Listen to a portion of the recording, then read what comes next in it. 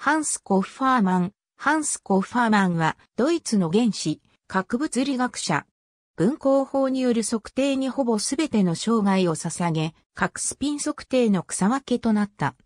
第二次世界大戦中は、ウラン協会としても知られるドイツの核エネルギー計画に参加した。コッファーマンは、フリードリヒ・アレクサンダー大学エアランゲン・ニュルンベルクと、現在は、フンボルト大学ベルリンとなっている、フリードリヒ・ビルヘルム大学で研究を始めた。第一次世界大戦後は、ジェームス・フランクの下で、ゲオルク・アグスト大学ゲッティンゲンで研究を続けた。1925年に、そこで博士号を得た。博士取得後、カイザービルヘルム物理科学研究所のスタッフサイエンティストであったルドルフ・ラーデンブルクと共に働き始めた。産卵と誘導放出を研究していた。1931年にスペクトル線の超微細構造についての研究を始め、これが核スピンを測定する上で先駆けとなる研究となった。1932年にフリードリヒビルヘルム大学の試講士となった。これはハビリタチオンを完全に手に入れたということを意味している。その後1年間をコペンハーゲンにある理論、物理学研究でニールス・ボーアの下で過ごした。1933年から1937年まではシャルロッテンブルク工科大学で講師を務めた。1937年からは、クリスティアン・アルブレヒト大学キールの院内教授となった。1940年に核モーメントを扱った本、カーンモメンテを出版したことは、時代の各物理学者に影響を及ぼした。1941年、彼の意に反して学長によって大学のディーンに指名された。これは彼に圧力をかけてナチスへ入党させるものだった。キールには1942年までいた。キール大学にいる間、ボルフガング・フィンケルンブルクが催した行事の主要参加者であった。ミュンヘン宗教会談として知られた。この行事はドイツ物理学運動の影響の衰退を予兆していた。ドイツ物理学運動とは反ユダヤ、反理論の物理学である。大学の環境に適用されると、歴史的に受け入れられてきた学術的な能力の概念よりも政治的要因が優先された。この運動の内部には、ノーベル物理学賞受賞者のフィリップ・レーナルトとヨハネス・シュタルクのような結出した研究者がいたのだが、何ら歯止めにならなかった。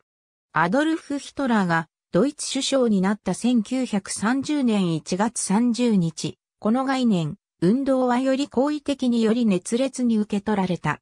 ドイツ物理学の支持者は、アルノルト・ゾンマーフェルトやベルナー・ハイゼンベルクなどの理論物理学者に対して攻撃を始めた。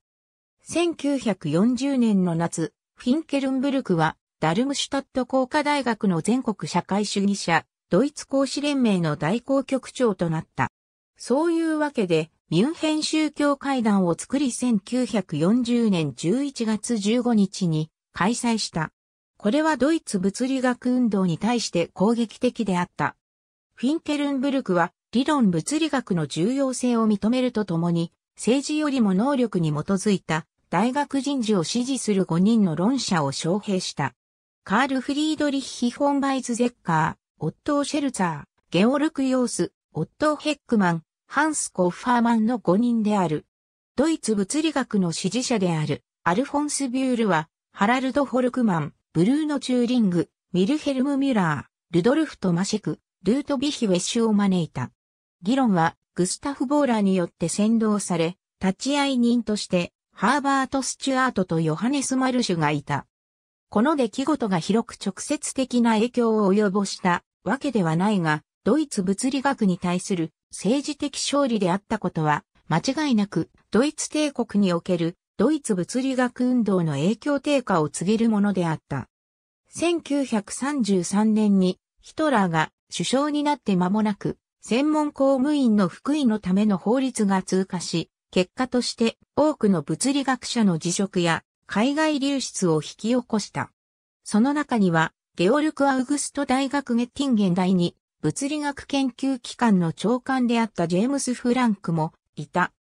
1935年には公務員法関連法案であるドイツの高等教育システム再編による教授の辞任及び移動に関する法律により、ゲオルク・ヨースは強制的にフランクがいただいに物理学研究所の院内教授と長官の役職を埋めるためにゲッティンゲン大学に移動させられた。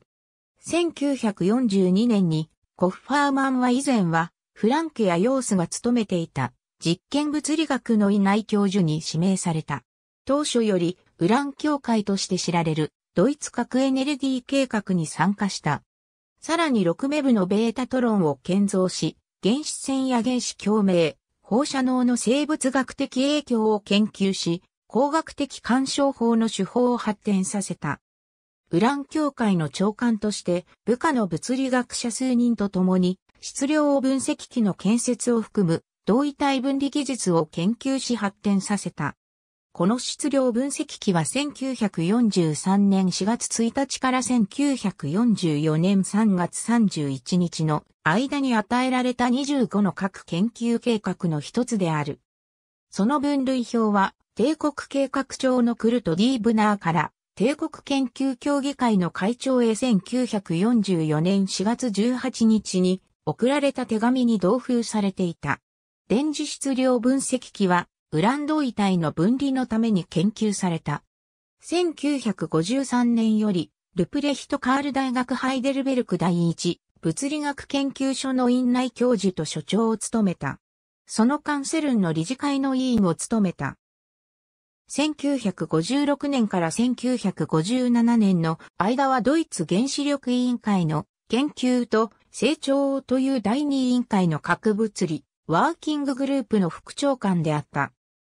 アザーこのグループに1956年と1957年にいた人物としては、ベルナー・ハイゼンベルク、ハンス・コッファーマン、フリッツ・ボップ、バルター・ボーテ、ボルフガング・ゲントナー、オットー・ハクセル、ビリバルト・ヤンチュケ、ハインツ・マイヤー・ライプニッツ、ヨーゼフ・マタウチュ、ボルフガング・リーゼナー、ウィルヘルム・ワルヘル、カール・フリードリヒ・フォンバイツ・ゼッカーがいた。ボルフガング・パウルは1957年に限りメンバーであった。ゲッティンゲン、ハイデルベルク、コッペンハーゲンのアカデミーへの選出を含む数多くの名誉を受けている。ありがとうございます。